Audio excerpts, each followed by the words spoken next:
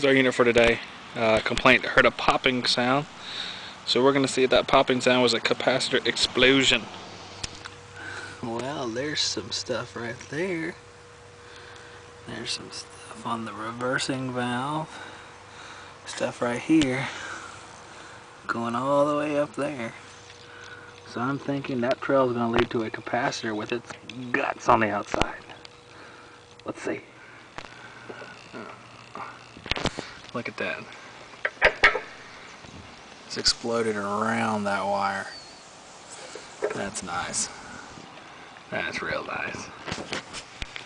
Hmm. Well, we'll see. Alright, I cleaned as much of that crap out as I could. It is horrible. And I replaced the start relay with one of the 521s and the uh, run capacitor there where they had exploded. Uh, I replaced some of the wires that were drenched in the oil. But uh, everything's running fine as far as that's concerned. So call that a success. What, what a mess. That's disgusting for sure.